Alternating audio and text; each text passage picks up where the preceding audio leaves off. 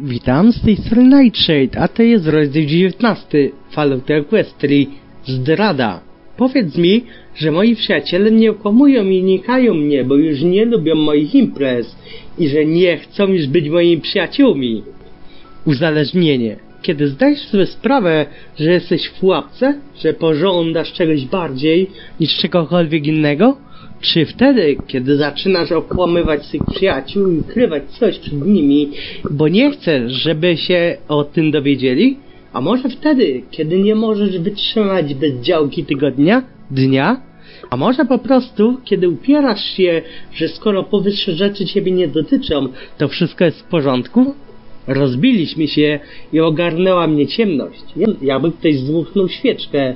Leżała na ulicy, nieprzytomna i poważnie ranna, jednakże w głębiach mojego nieprzytomnego umysłu na nadal spadałam.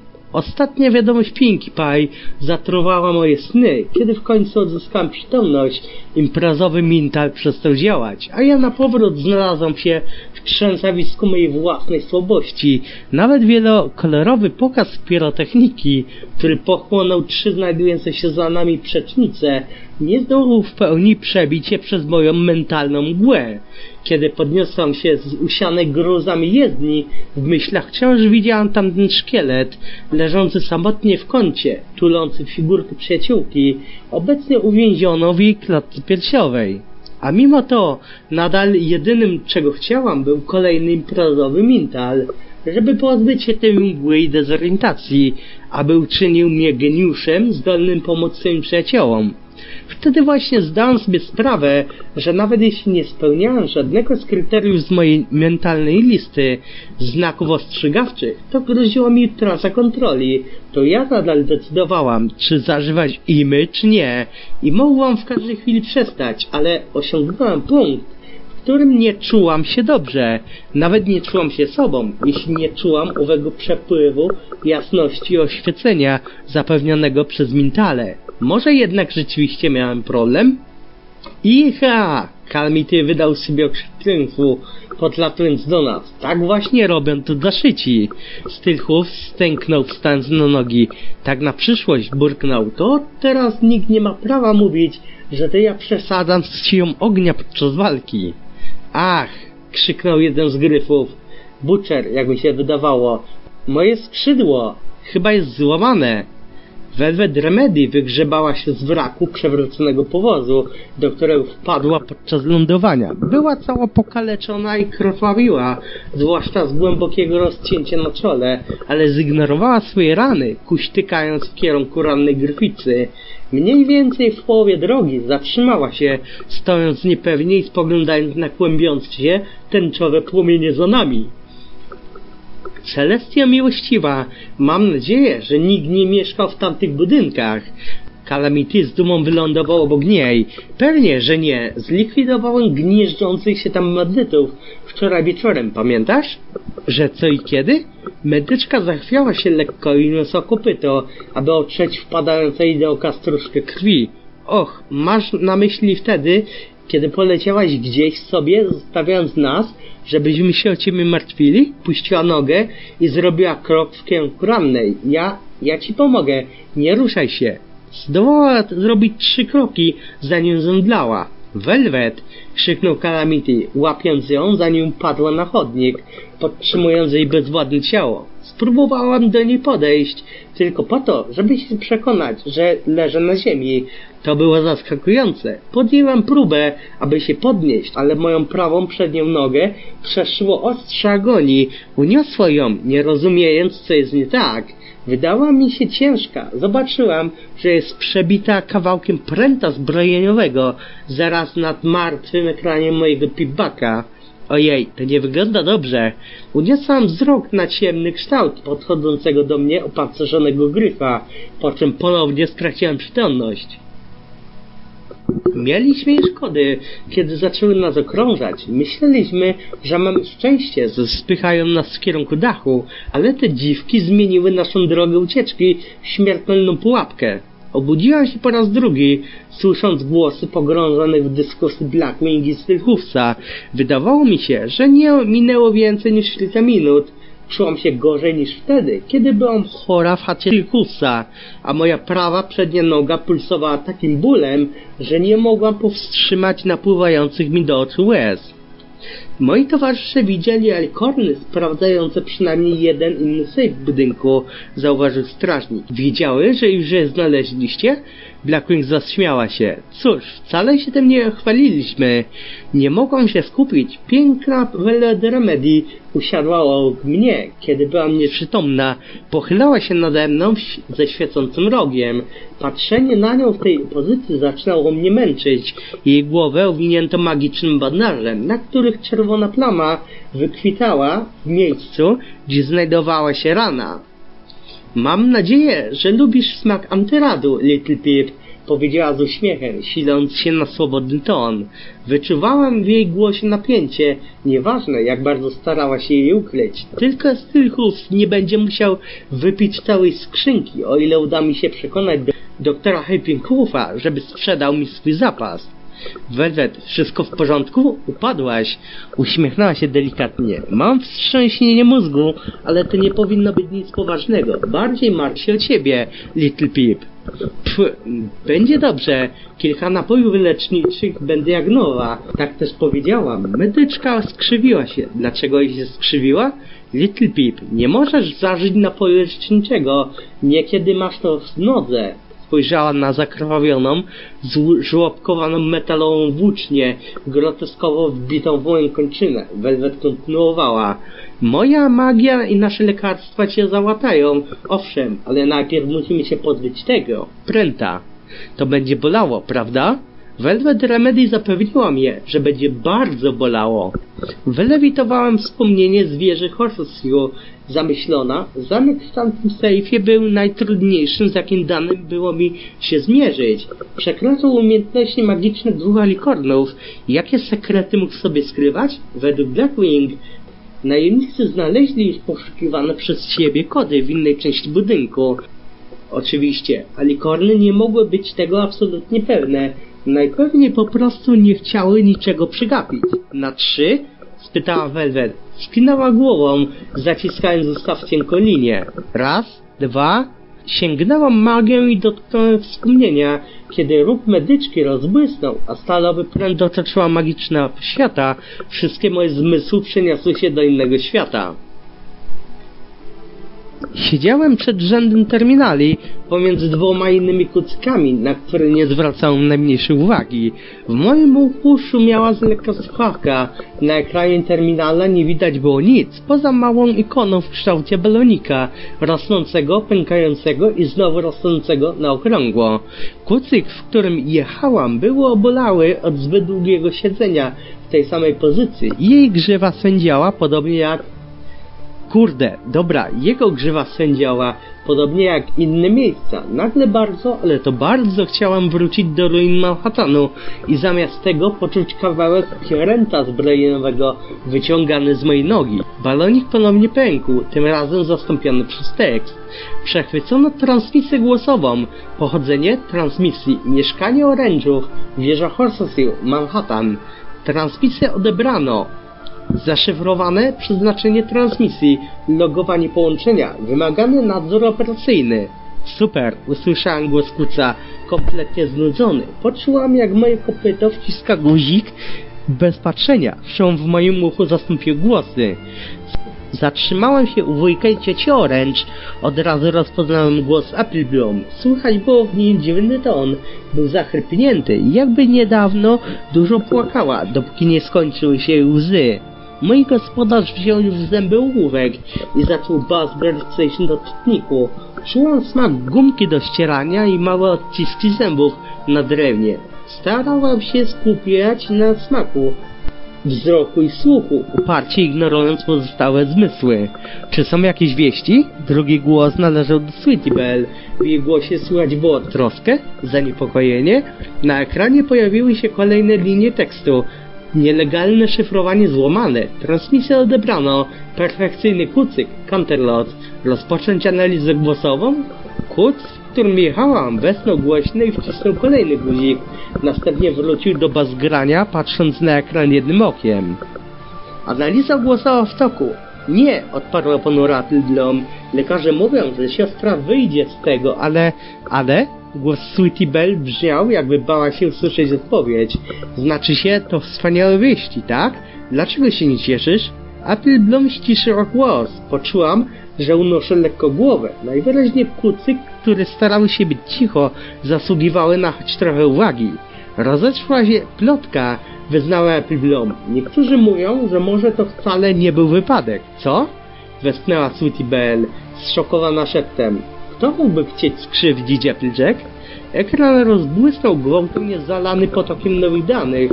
Gdzieś w głębinach budynku komputery rozpoznały, do kogo należały głosy oraz to, o czym rozmawiały. Teraz mój gospodarz całą swoją uwagę poświęcał słuchawce i monitorowi.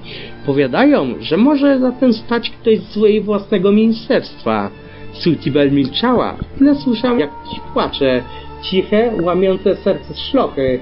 Nie byłem w stanie powiedzieć, czy dochodziły one ze strony jednorożca, czy też jej przyjaciółki. Nie musiałam się jednak długo domyślać. Co tam się dzieje, Sweetie Belle? Skąd dzwonisz? Wszystko w porządku? W tym momencie klacz uderzyła mroczna myśl. Czy twoja siostra też miała wypadek?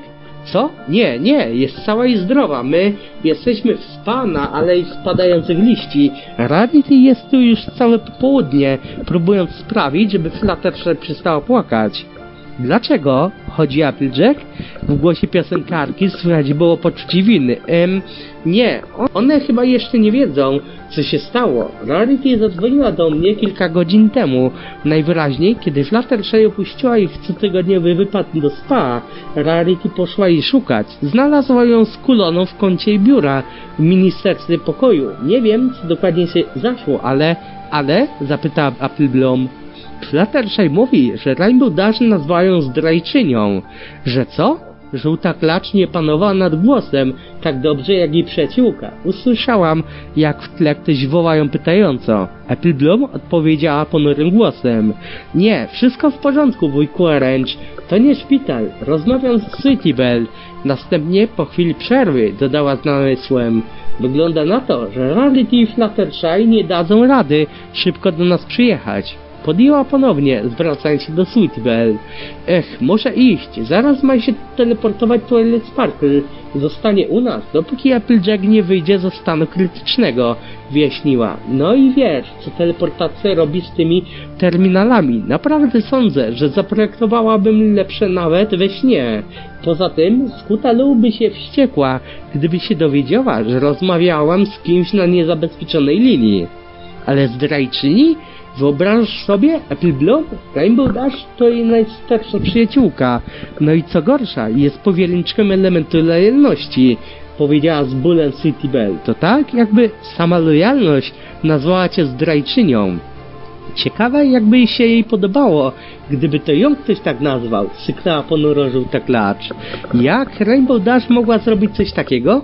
Nie wiem, odparła Pilgrim obrażonym tonem.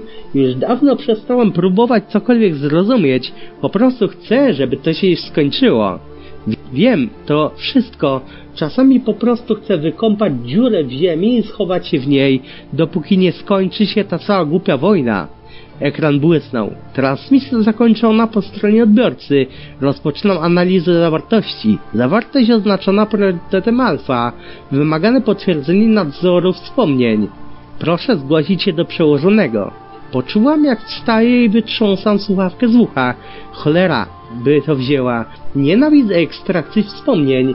Usłyszałam, jak zrzędzi przez coś, co odczułam jak moje własne usta. Mam nadzieję, że te kobyły spłoną żywcem. Powróciłam do świata ciemności i niewyobrażalnego bólu. Za to przynajmniej znowu byłam klaczą. Przełykając krzyk, uśmiechnęłam się słabo do Velvet Remedy, która właśnie obijała mi nogę bandażami leczniczymi. To było sprytne, pochwaliła mnie Velvet Remedy, wyjmując magią parę eliksirów leczniczych z metalowej apteczki leżącej obok niej. Zauważyłam, że nie miała na sobie swoich skrzyneczek i rozejrzałam się dokoła. Mogłabym Przysiąc, że miała je na sobie zanim zemdlałam po raz drugi, ale nie byłam w stanie sobie przypomnieć, czy miała je, kiedy się obudziłam. Niedaleko od nas zobaczyłam Kalemitiego, zajmującego się jej jukami, zastępującego uszkodzone pudełka nowymi, które zdobył gdzieś. Było w nim coś ciekawego? Zapytała medyczka, piętnąwszy rogiem w stronę wspomnienia. Spojrzałam w dół na kryształową kulkę. Myśl, która prowokowała, walczyły między sobą w mojej głowie o dominację. Już wcześniej dane mi było zobaczyć szczegóły sugerujące, że w Ministerstwie Technologii nie działo się dobrze, ale jeśli istotnie był w nim ktoś, kto na tyle nienawidził Applejack, aby przeprowadzić zamach na jej życie, to przenosiło konflikt na zupełnie nowy poziom. Znaczyło to też, że rozumowa ze wspomnienia miała miejsce już po śmierci starszego brata Applejack i będącej jej skutkiem ściślejszej kontroli pomarańczowej klaczy nad swoim ministerstwem. Być może nawet po wspomnieniu Applesnacka nowa generacja odpornych na magię terminali tłumaczyła, dlaczego wciąż znajdowałem sprawne urządzenia na pustkowie Equestrii, a jeśli owa rozmowa odbyła się wtedy, kiedy podejrzewałam, tłumaczyło to też to, dlaczego ogromna większość terminali była zniszczonymi kupami złomu. Tylko te najważniejsze lub posiadane przez prominentne kucyki zostały ulepszone. Zaczynałem też dostrzegać możliwości, które Gaudyna Grimfeders zobaczyła w całym skarbcu wypełnionym wspomnieniami. Ale te myśli tylko odwracały moją uwagę. Najważniejsze było to, że Vezet Remedy nie może nigdy zobaczyć tego wspomnienia. Tylko jakiś kłód nudzący się w pracy, skłamałem, unosząc je w kierunku moich juków. Co z tamtą gryficą ze złamanym skrzydłem? Przez jakiś czas nie będzie mogła latać i obrażenia są znacznie poważniejsze od tych, które odniósł Calamity, kiedy go postrzelono, powiedziała Velvet, spoglądając w kierunku swojej pacjentki. Kiedy tylko odwróciła wzrok, użyłam swojej telekinezy, aby cisnąć kryształową kulkę wysoko w nocne niebo. Przy odrobinie szczęścia wyląduję wystarczająco blisko wywołanego przez naszego Dashita Armagedonu, aby zawarte w nim toksyczne wspomnienie zginęło na zawsze w płomieniach. DJ Pan 3 nie mówi wszystkiego, stwierdziła Blackwing, zwracając się do Stylhufsa. Mój odziany w metal towarzysz bardzo swobodnie zapytał ją o masakrę kuli na stacji linii Celestii. Pewnie Green Star chciał, żeby się ich pozbyć, ale kilka kucyków wieży Tympony, jak tamten doktorek, było zainteresowane bardziej pokojowym rozwiązaniem. Pokojowym? Odparł strażnik z zabarwionym odrazem niedowierzaniem. Z kulami? Blackwing zgarbiła się lekko. Zdarzyło mi się spotkać kilka kucyków kuli, które były bardziej warte szacunku niż większość kuców na pustkowiu. Jej ton sugerował, że miała ochotę dodać coś jeszcze, ale nie chciała obrażać stalowego strażnika, który dopiero co uratował jej życie. Nie są takie jak kucyki zombie, choć z czasem, cóż, szeryf Rottingtail był na prostej drodze do stania się zombie, tego jestem pewna. Ach tak? Opancerzony kłódź spytał owym jednocześnie swobodnym i manipulacyjnym tonem, który zaczynałam już rozpoznawać. Zastanawiałam się, czy powinno mnie niepokoić, czy Blackwing i czy Blackwing i gryfy powinny obawiać się reakcji ze strony Stilhusa, a kucyki wieży tempony? Nie byłam o tym przekonana, ale z drugiej strony, na ile dobrze znałam Stilhufsa, czy ktokolwiek mógłby powiedzieć, że go zna, kiedy każda wyrażana przez niego opinia mogła być sprytnie zaprojektowanym oszustwem? Tak, szeryf Rottingtail nie chciał pokojowego współistnienia, nawet jeśli część mieszkańców Tempony była gotowa dać mu szansę. Ten drań planował zabić wszystkich wieży i przejąć ją dla siebie i swoich kompanów. Gryfica machnęła z odrazą szponami. W tunelach technicznych pod wieżą są całe stada kucyków zombie. Chciał nam zapłacić, żebyśmy otworzyli stare wejście do tych tuneli, tak żeby zombie mogły zalać budynek. Stillhoof przez moment zachowywał śmiertelną ciszę, po czym zapytał Chciał was przekupić, żebyście złamali kontrakt? Z pewnością wiedział, że honor gryfów na to nie pozwoli. Dlaczego nie zrobił tego samemu? Widziałam, jak Blackwing połknie z dumy, bo nie mógł, głupiec. Wejście otwiera się tylko od środka. Na lunę, westchnął strażnik. Mam nadzieję, że powiedzieliście o tym szerfowi Grimstarowi. Gryfica skrzywiła się. Tak właściwie drapnęła szponami o ziemię. Nie widziałem powodu, dla którego mielibyśmy wspierać go w jego bigoterii po tym, jak pozbyliśmy się Rottingtaila. Tak naprawdę to nie planowaliśmy zabijać nikogo poza nim jego gorylami, ale jak tylko padł, to wszyscy się na nas rzucili. Nie mieliśmy wyboru. Stylchów zarżał. Cóż, kto mógłby was winić? Jednakże Grimstar powinien wiedzieć o tym potencjalnie zabójczym słabym punkcie w liniach obrony wieży. Gdzie dokładnie znajduje się to wejście? Baczer opuściła na ziemię pod moimi kopytami swoje zdemontowane działko, a a. Mrugnęłam, nie rozumiejąc o co może chodzić. Słuchaj, uratowałeś nam tyłki tam na górze. Jesteśmy twoimi dłużnikami, wyjaśniła. Blackwing pewnie zrobiłaby cię honorową członkinią szponów, jeśli byłabyś chociaż Pegazem, ale skoro jesteś jednorożcem, to niestety nie ma szans. Spojrzałam na grotesko wielkie działko. Naprawdę nie mogłabym, wymamrotałam, zastanawiając się, co do cholery bym z nim zrobiła, gdybym zdecydowała się przyjąć. Możecie go potrzebować. Cóż, życie jest mi jeszcze bardziej potrzebne i wciąż je mam w dużej mierze dzięki tobie. Szpony Blackwing spłacają swoje długi i nie zaprzeczaj, żeby ci się nie przydała. Mała gilda przebije się przez tarcza likorna, jeśli zdołasz skoncentrować ogień na celu przez cztery lub pięć strzałów. Przekręciła nieco głowę. Poza tym alternatywą byłoby danie wam pancerza, a nie sądzę, żeby pasował on na kucyka. Calamity podleciał do nas, zawisając nad naszymi głowami i spoglądając na działko. Tego założę się, że dałbym radę zamontować to tasko na siodle bojowym Stylhufsa. Gdzie? Wielkie siodło strażnika miało już po jednej stronie automatyczny granatnik, a po drugiej wyrzutnie rakiet. Na grzbiecie Pegaz uchylił kapelusza. Pomysł coraz bardziej mu się podobał. Pewno musielibyśmy zainstalować je w stronę zazu, więc Tylchów musiałby się odwracać ogonem w stronę celu, żeby strzelać. Ale jeśli podłączylibyśmy je do tej całej wymyślnej magii celowniczej, o, o, nie, musiałem położyć kres temu szaleństwu.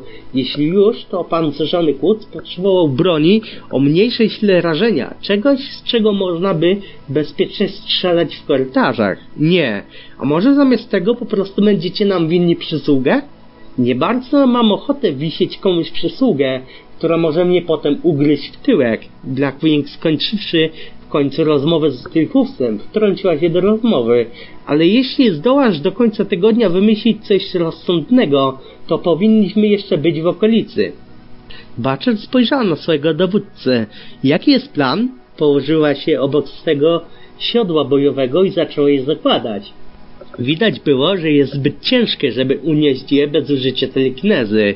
Dokończymy zlecenie, dostarczymy kody i odbierzemy zapłatę, a potem Blackney spojrzała za siebie na pozostałego członka oddziału, którego Velvet Remedy zmieniła w owiniętą bandażami mumię.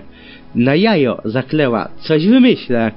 Calamity wyglądał na zawiedzionego, zobaczywszy, że Butcher zakłada na powrót małą gildę. No nie wiem, jak was znajdziemy? Blackwing wyjęła z juków niewielkie urządzenie, przypominające wyglądem Selbaka. To nadajnik. Możesz podłączyć go do pipbacka, aby transmitować wiadomości radiowe, jak również je odbierać. Pipback to nie wieża radiowa, więc nie będzie miał wielkiego zasięgu. Ale jeśli odebrałeś nasze transmisje, to wiesz już na jakich częstotliwościach nas szukać. Skinęłam głową, lewitując go do moich toreb. Najpierw musiałam zresetować matrycę czaru mojego pipbacka. Mogłam to zrobić przy pomocy zbroi Pilhufsa. Była to jednak skomplikowana operacja, której nie mogłam się podjąć, kiedy byłam ranna i w ciemnościach oraz prawdopodobnie bez imprezowych mentali. Nie, nie, mogłam to zrobić bez nich, nawet jeśli nie czułam się, jakbym mogła. W końcu już to kiedyś zrobiłam, cholera. Sylchów spodplusował do nas. Kusiło mnie, żeby go zapytać o jego nieco złowrogą rozmowę z Blackwing. On jednak skierował moją uwagę gdzie indziej. Jesteśmy obserwowani. Jakiś Sprite próbuje zwrócić twoją uwagę, nie zdradzając mi swojej obecności. Stróż. Przeprosiłam wszystkich, mówiąc, że udaje się za potrzebą. Istotnie, podleciał do mnie Spritebot, cichy niczym świt. Witaj, Little Pip. Powiedział, siląc się na sołodny ton. Nie było to jednak przypadkowe spotkanie. Jeśli by było, to usłyszelibyśmy wcześniej muzykę. Co wy tu wszyscy robicie? I co to była za eksplozja? Zastanawiałem się, czy stróż nie był przypadkiem owym nieśmiałym czymś, idącym naszym tropem, które Stylkus i ja zauważyliśmy wcześniej. Postanowiłem sprawdzić ową teorię. Cóż, Calamity bawił się fajerwerkami, a Stylkus pozwalał ci potajemnie podążać za nami cały dzień, nic nam o tym nie mówiąc, powiedziałem groźnie. Co to ma znaczyć? Cały dzień? Nie wiem o co ci chodzi, Little Pip. Dopiero was znalazłem. Tak, jasne. Nie miało to jednak znaczenia. Potrzebowałem jego pomocy. Stróżu, potrzebuję przysługi. Chcę, żebyś skontaktował się z Gawdyną i powiedział ich ponad Blackwing. Bot milczał na tyle długo, że poczułam, że powinnam wyjaśnić. Gaud zbiera gryfy niezwiązane kontraktem. Blackwing straciła połowę podwładnych w walce z alikornami, a ci, którzy przeżyli są poważnie ranni. Potrzebują więcej pomocy, niż jesteśmy im w stanie udzielić. Powinniśmy przynajmniej dać Gaudynie szansę zaoferować im nie, odparł mechanicznym głosem bot. Nie? Aż usiadłam, zaskoczona. Słuchaj, możemy im pomóc, a może obchodzą cię tylko kucyki? Pomagałem ci wcześniej, bo wtedy chodziło o ratowanie życia. Teraz to coś innego, to bardziej zarozumiałość. Nie ujawniam się bez powodu. Za każdym razem, kiedy to robię, narażam się na ryzyko. O, na miłość Luny! Odwróciłam się od, od. Wtedy jednak stróż mnie zaskoczył. Dobrze, zrobię to dla ciebie, ale w zamian musisz coś dla mnie zrobić. Mam dla ciebie zadanie. Że co dla mnie masz? Mrugnęłam, spoglądając podobnie na latającego robota. Wierzy ten pomysł, znajduje się czarny opal. Ukradziono mi go, chcę go odzyskać. Czym jest ów czarny opal? Zapytałem ostrożnie. To specjalny klejnot, przypomina kryształowe kulki wspomnień, ale używa się go w kolektorze. Zanim zdążyłem zapytać, co to takiego, stróż wyjaśnił. Wspomnienia zawierają fragmenty pamięci pobrane przy użyciu magii jednorożców, zazwyczaj siłą. Rekolektor to zaczarowana korona, którą można założyć, kiedy ktoś chce zachować to, co przeżywa, albo żeby ponownie przeżyć tak zapisane wspomnienia, nawet jeśli osoba mająca go na sobie nie jest jednorożcem. Skinęłam głową. Taki wynalazek miał sens. Podejrzewałem, że podobnie jak odporny na magię terminale Apple Bloom, był to postęp w technomagii, który pojawił się tuż przed apokalipsą. Gdyby było inaczej, napotykałabym go znacznie częściej. Wiesz, chcesz, żebym odzyskała coś w rodzaju wspomnienia zwierzy i ci je przyniosła. Czy ja wyglądam na kucyka kuriera? Spojrzałam na niego z łba. Skoro jednak dzięki temu mi pomożesz, to dobrze, zrobię to. Gdzie go dokładnie znajdę? Jestem niemal pewny, że zabrał go kucyk z radia DJ Pon 3. Przynieś go mi, a przekażę twoją wiadomość. Zaraz, że jak? Stróż chciał, żebym ukradła coś homasz? Ja, ja... Powiedziałem, walcząc z ogarniającą mi furią. Dobra, w porządku, zobaczę co da się zrobić. Mój głos był czysty i ostry, ale najpierw wyślesz moją wiadomość. Sprite milczał przez chwilę, kiedy stróż rozważał moje diktum. Oczywiście, zaufanie działa w obie strony. Cóż, być może, jednakże stróż właśnie poprosił mnie, żebym zdradziła zaufanie kogoś, na kim mi zależało, a w tym momencie zależało mi na homasz znacznie bardziej niż na jakimś kucyku kryjącym się za spritebotami i domagającymi się przysług w zamian za pomoc innym. Tak więc zapytam homasz o czarny opal grzecznie. Jeśli powie mi nie, to cóż, stróż będzie miał pecha. Nagle coś sobie uświadomiłam. Wyczeszczyłam oczy na latającego robota. Co? Czemu tak na mnie patrzysz? Bo nie zniknąłeś. Twoje wizyty robiły się coraz krótsze. Prawie za każdym razem, kiedy zaczynałam zadawać niewygodne dla ciebie pytania. To akurat kończył dzisiaj czas kontroli nad Spritebotem. A teraz, kiedy czegoś ode mnie chcesz, to nagle Przerwał mi dochodzący z robota biały szum, zastąpiony szybko wesołą muzyką z przewagą tuby bębna i harmoniki ustnej, kiedy stróżowi wyczerpał się czas. Nie kupowałem tego. Słońce zaczynało wschodzić, barwiąc wiszące nad nami chmury wspaniałymi kolorami, zmieniając miasto w labirynt głębokich cieni.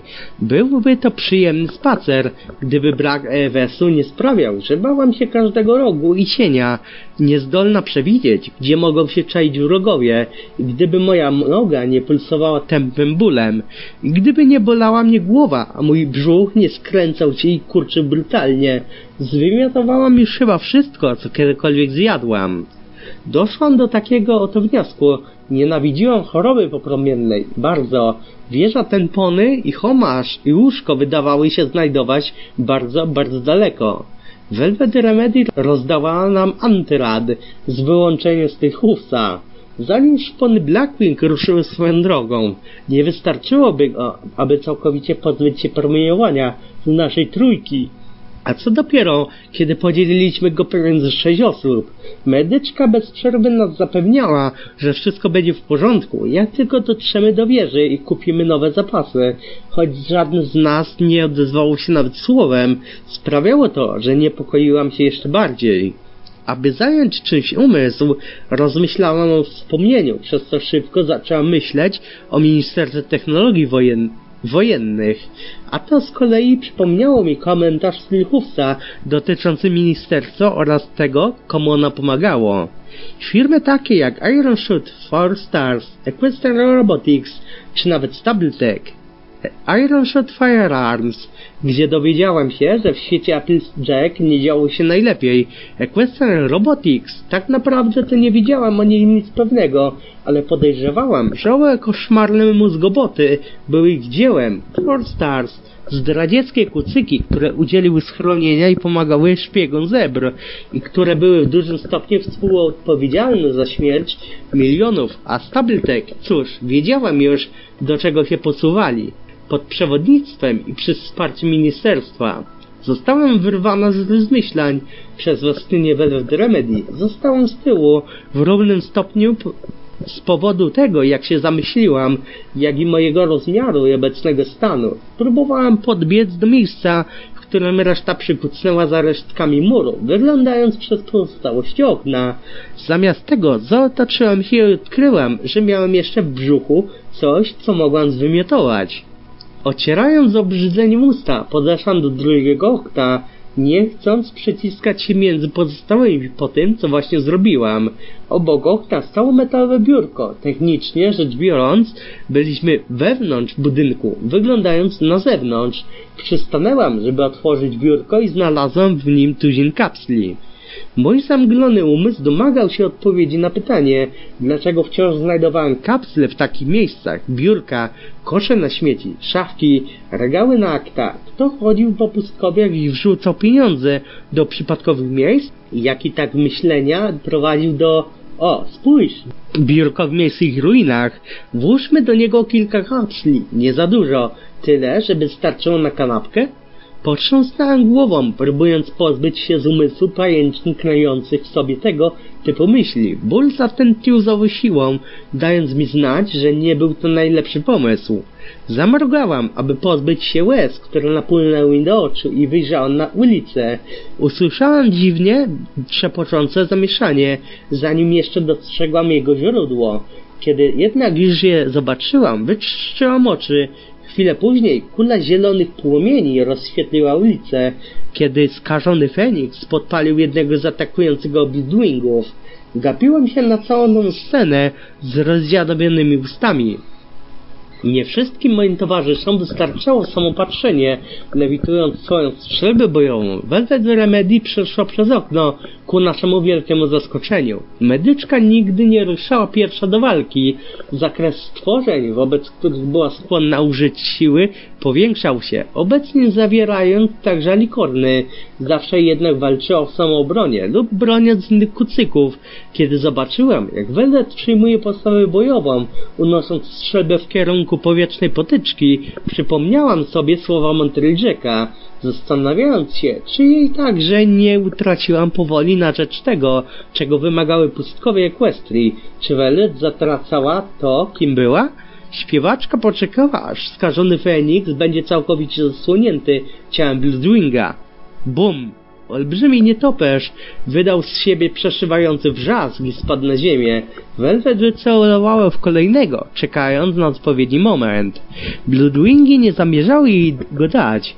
Jeden z nich odłączył się od grupy, nurkując w stronę mojej przyjaciółki. Podwójny wystrzał rozbrzmiał, kiedy Calamity dołączył do walki, a nietoperz uderzył bezwładnie o ziemię u kopyt medyczki.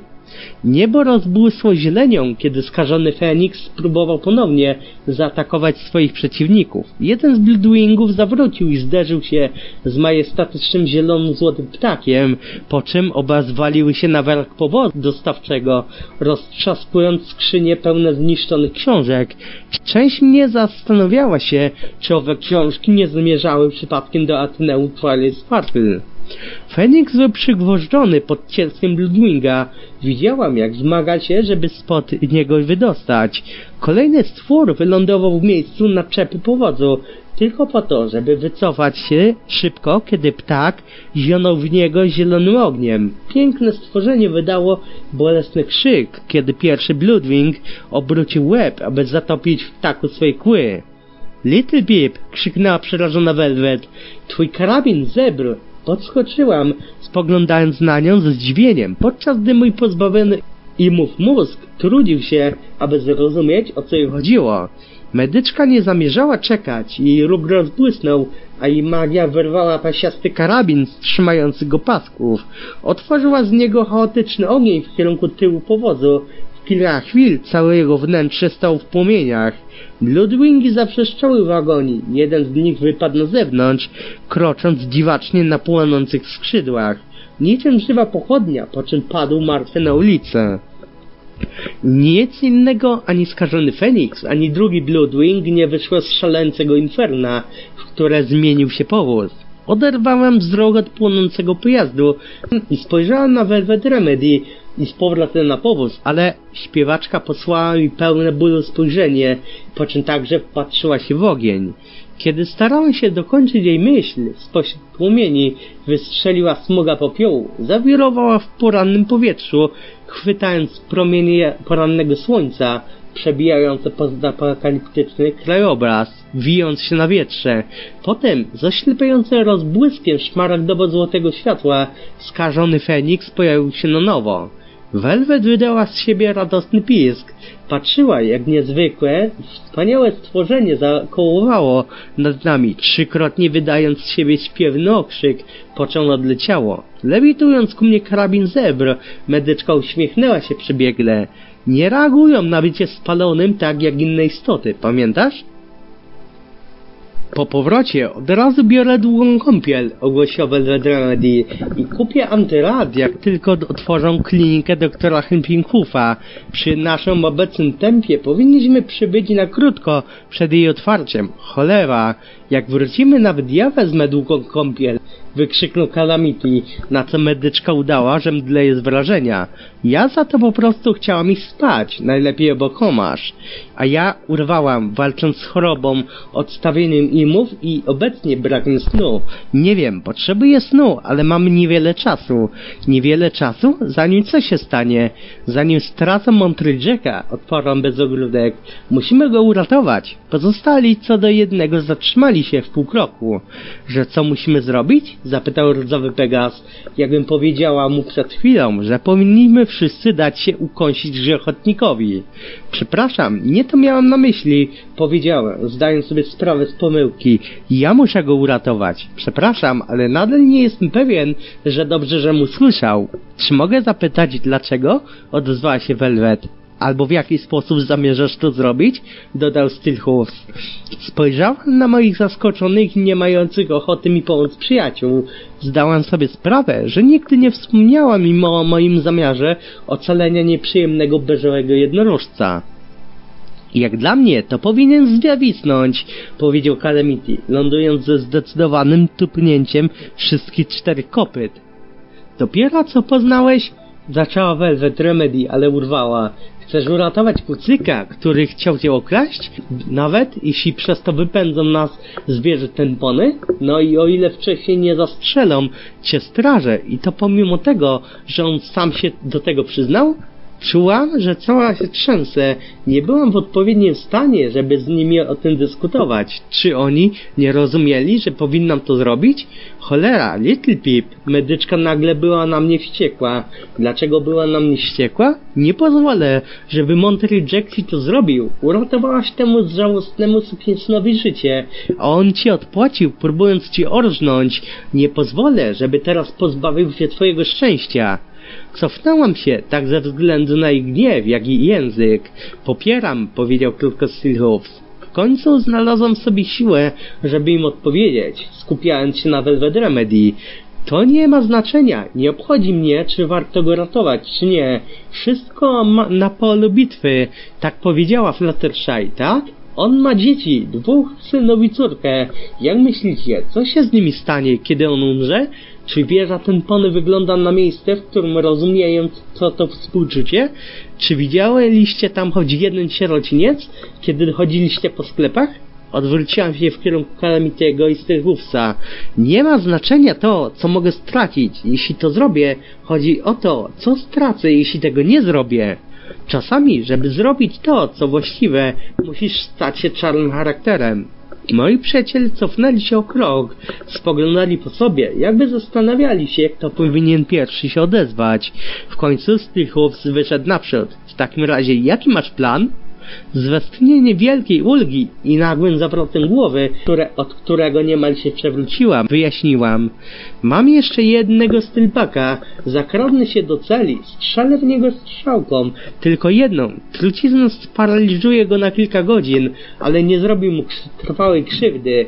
Potem wezmę go na grzbiet. Użyję lewitacji, żeby zmniejszyć jego ciężar. O ile będę go niosła, czar niewidzialności powinny ukryć nas oboje, tak jak w przypadku moich juków.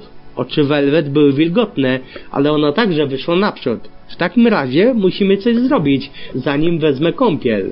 Spojrzałem na nim pytająco, z nadzieją. Musimy wstąpić do warsztatu, żebyś mogła zbudować nowy pistolet na strzałki. Ledwo stała na nogach, kolana się pode mną ginały, stół roboczy wydawał się tańczyć mi przed oczyma. Medyczka stała jednak u mego boku, zachęcając mnie delikatnie. Wydawało się, że jej nastawienie zmieniło się kompletnie, kiedy tylko wspomniałam o dzieciach. Byłam zaskoczona, ale bardzo zadowolona. Wszystko w porządku, dasz radę, po prostu się skup.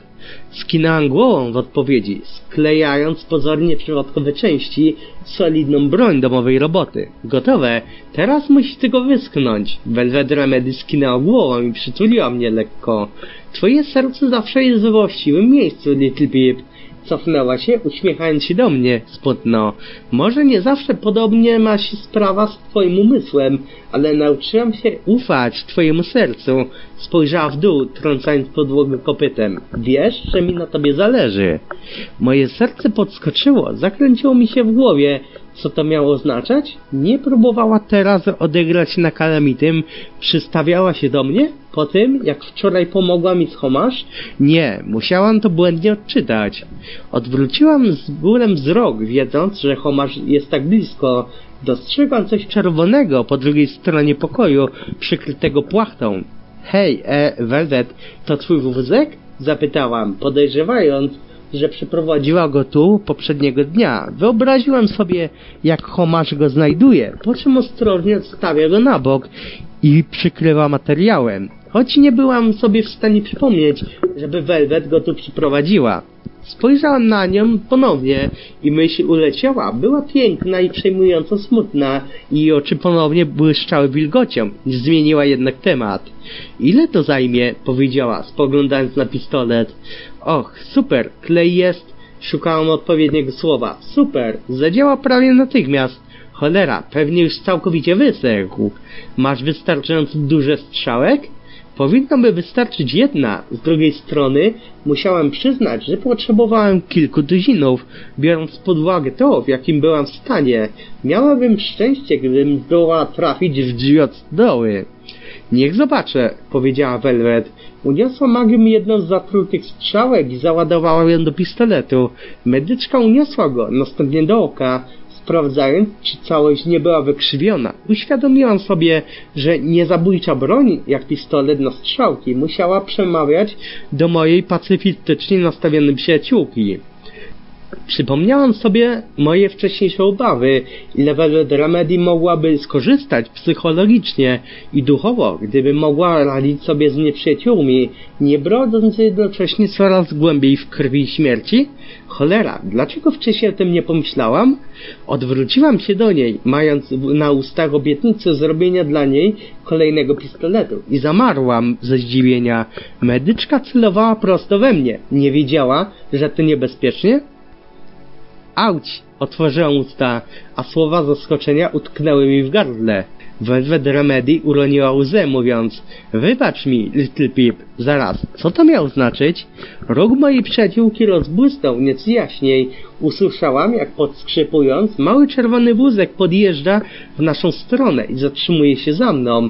Medyczka podeszła bliżej i popchnęła mnie lekko kopytem, przewracając moje sparaliżowane ciało na wózek. Strzeliła do mnie specjalnie. Kiedy Velvet przykrywała mnie płachtą, ukrywając moje ciało, przysięgłam, że ją zabiję. Nie wiedziałam, kiedy straciłam przytomność. Ostatnim, co pamiętałam, były wibracje poruszającego się windy, wyczuwalne poprzez metalowe krawędzie wózka. Wózka, który może zaznaczyć, był bardzo niewygodny. Nic nie widziałam, a jedyną rzeczą, którą czułam węchem, była ta cholerna płaca. Zdałam sobie sprawę, że powinnam albo być wściekła, albo bardziej zaniepokojona. Być może nawet powinnam bać się o życie.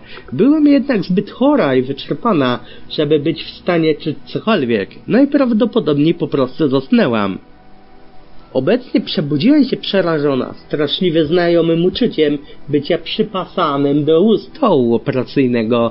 Przeszyła mnie panika, zaczęłam szarpać jak w trzymających mi więzach, wyobrażając sobie, że szalony full doktor w jakiś sposób zregenerował się i ponownie mnie schwytał, i to przy pomocy welwet. Rozluźniłam się, czując rosnący w moim sercu mroczny ból. Jak mogła mi to zrobić? Podobno była moją przyjaciółką. Uświadomiłam sobie, jak okropnie się czułam. Poza owym bólem w sercu, migreną i fizycznym osłabieniem, czułam, że coś w środku mnie było głęboko, nieznośnie nie w porządku. Czy to tak odczuwało się skazę?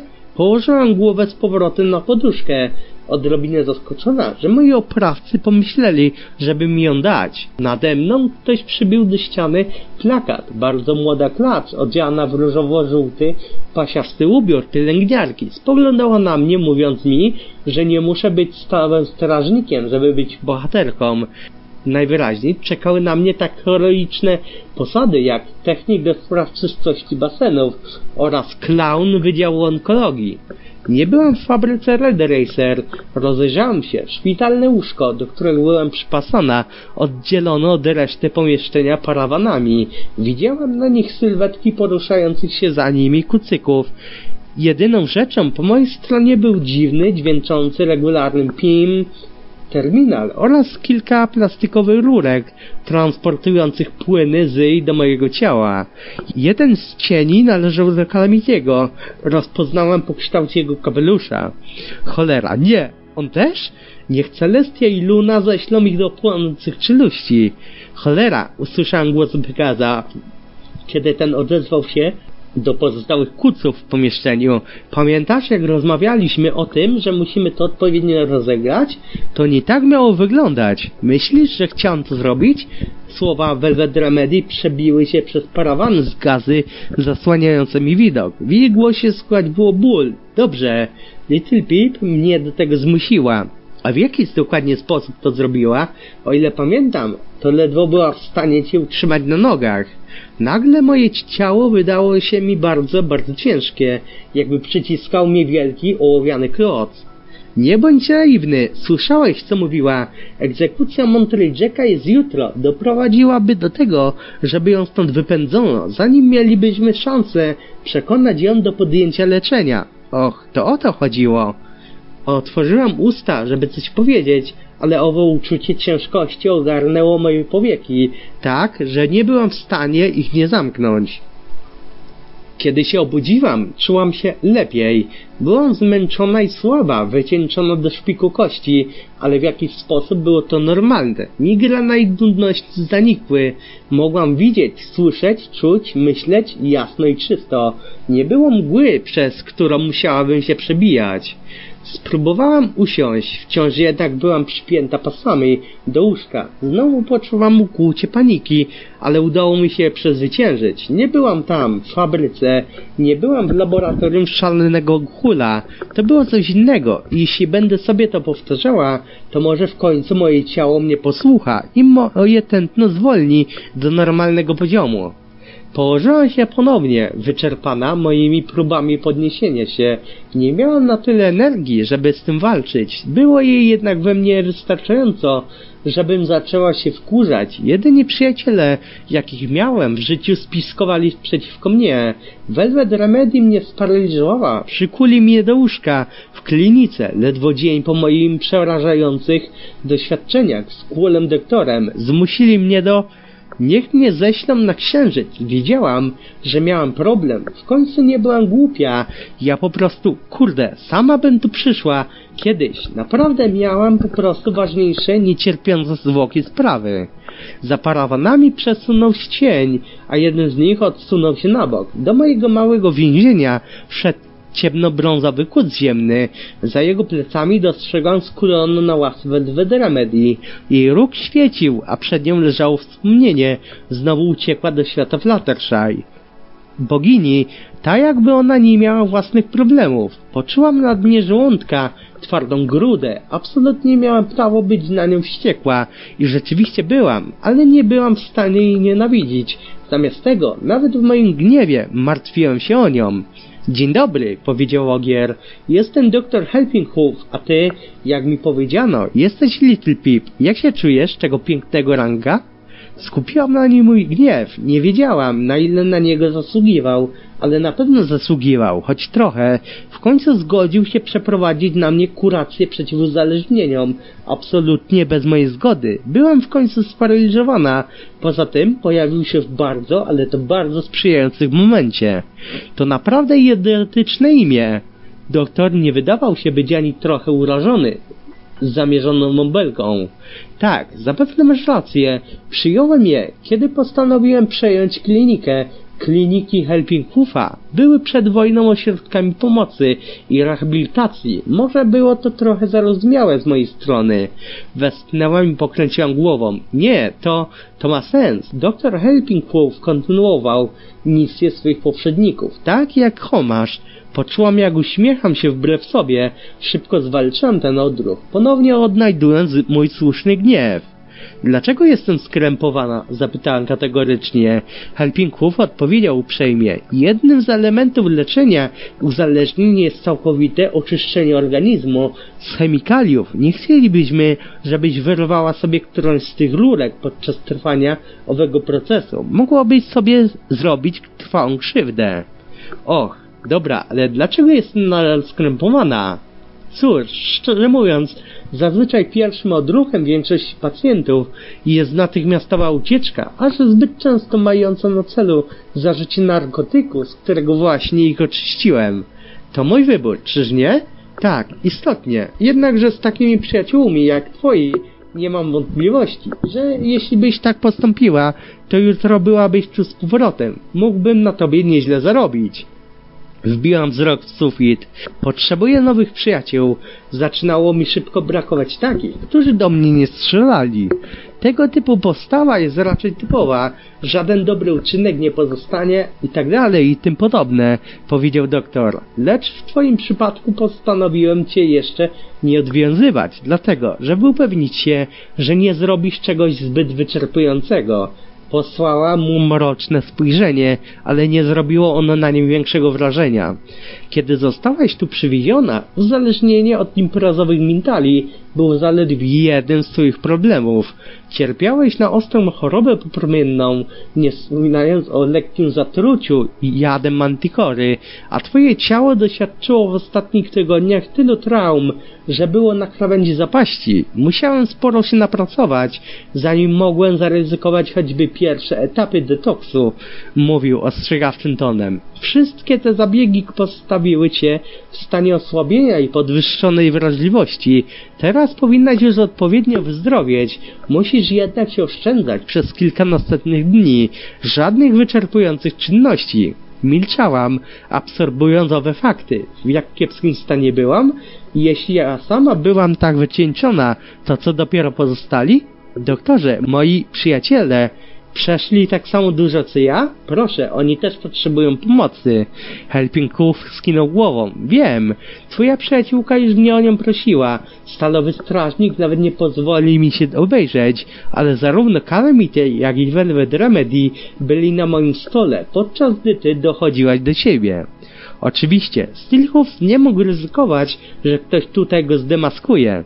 Czy wszystko będzie z niej dobrze? Fizycznie tak, odparł lekarz. Chociaż to, jak dobrze poradzą sobie z ranami emocjonalnymi, będzie zależało bardziej od ciebie niż ode mnie. Wspaniale. Zrzuć na mnie to brzemię. Nie będę nawet mogła być na nich zła. A teraz chciałbym porozmawiać trochę o uzależnieniach, poinformował mnie Helping Hoof.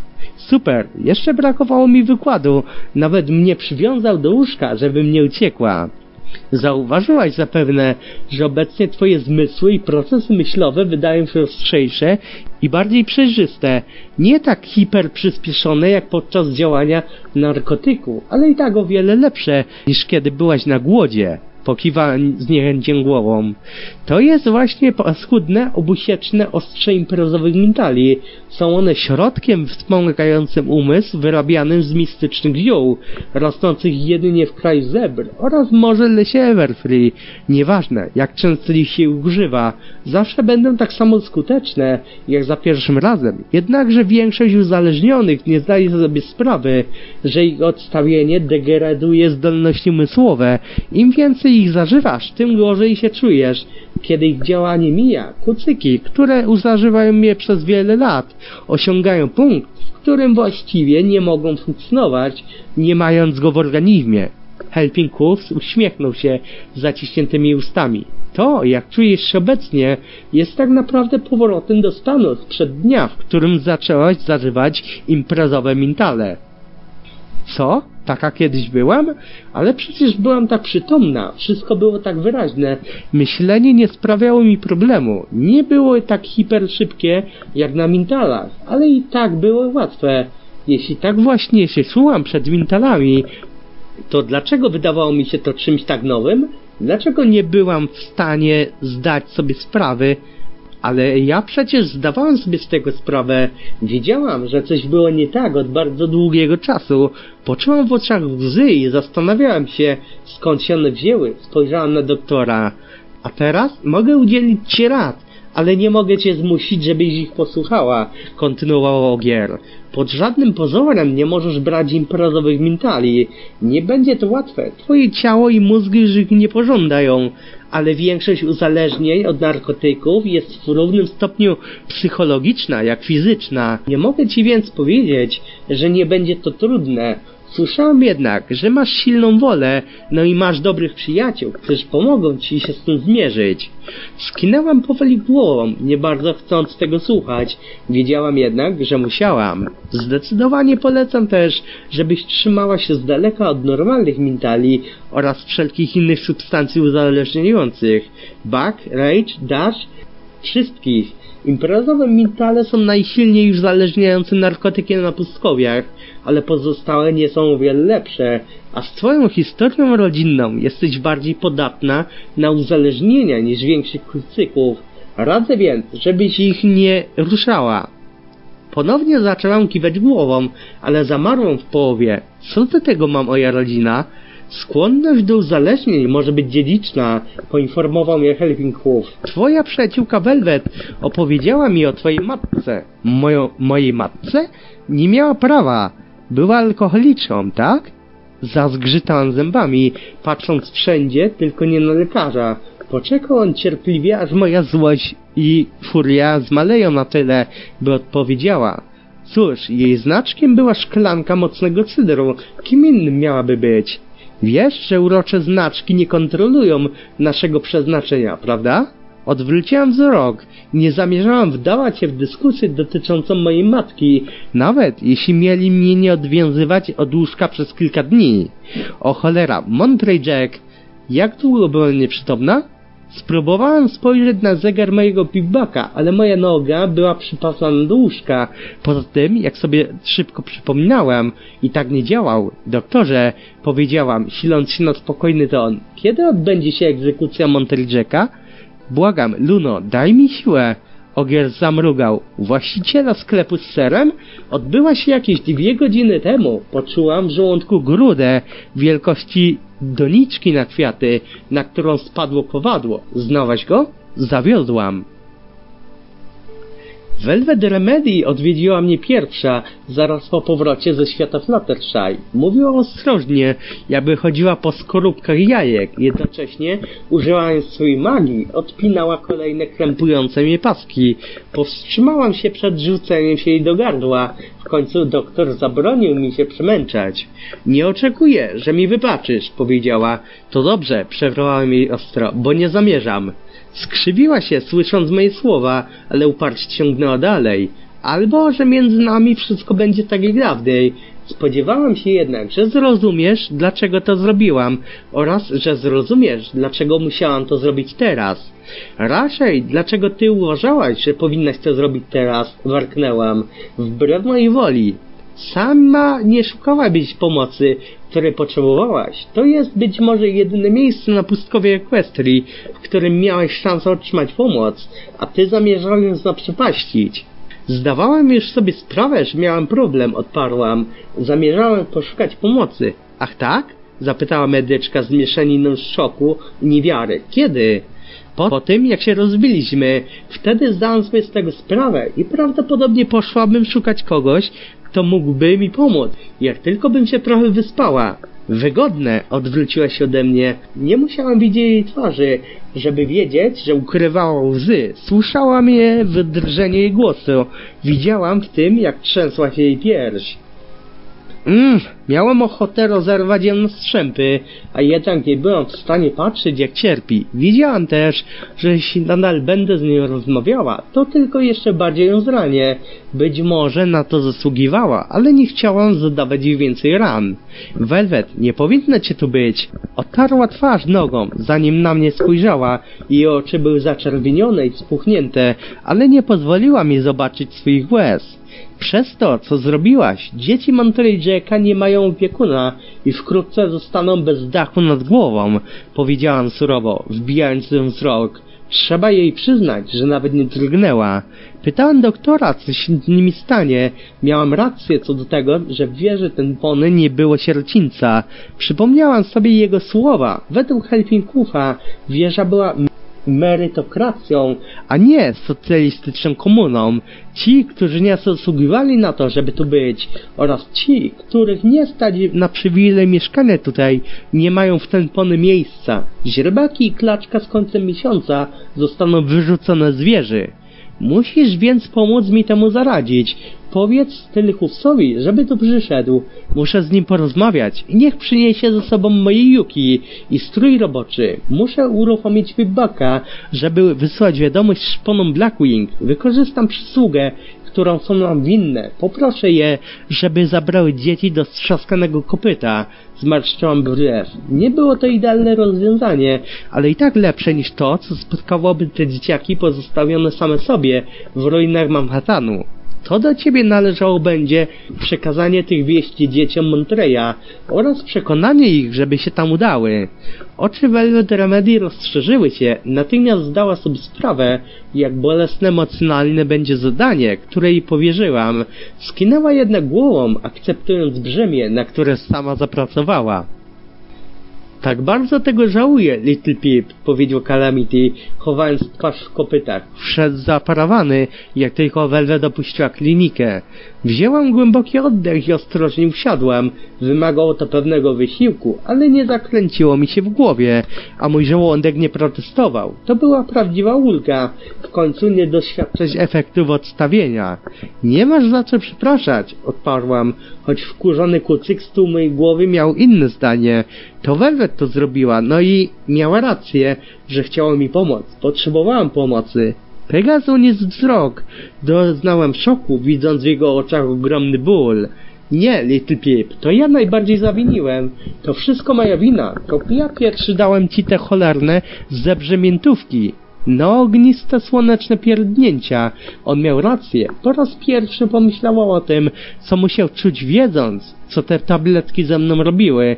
Czy winił za to siebie przez cały ten czas? Słodka Celestia, co ja zrobiłam moim przyjaciołom?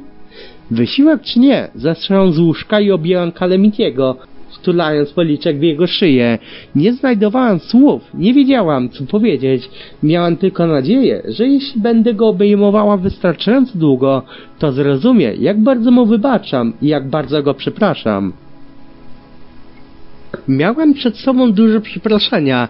Jak się trzymasz? spytałem Stillhoofsa, podłączając Pipbacka do jego magicznie zasilanej zbroi, używając narzędzi z mojego kombinezonu.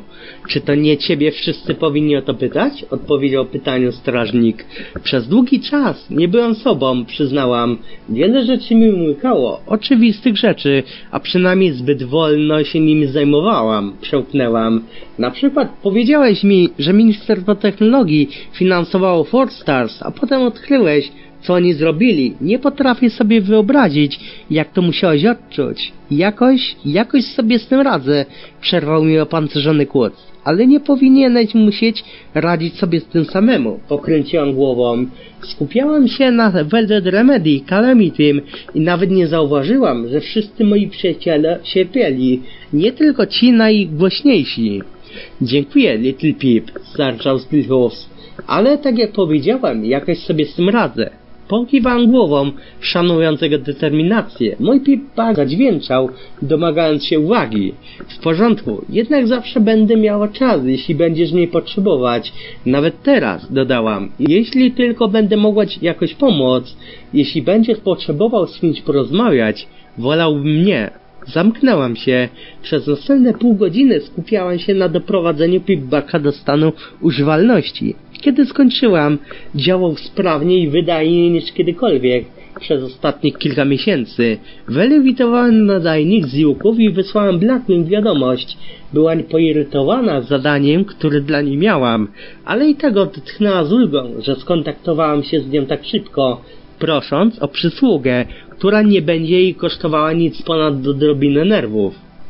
Na wielki jajo! Dzieciaku, mam prawie ochotę nazwać to trzema przysługami. Z drugiej strony musiałbym wymyślić, ile przysług więcej wisiałabym ci za skontaktowanie nas z Gaudyną Grimfeders i jej przedsięwzięciem w strzaskanym kopycie.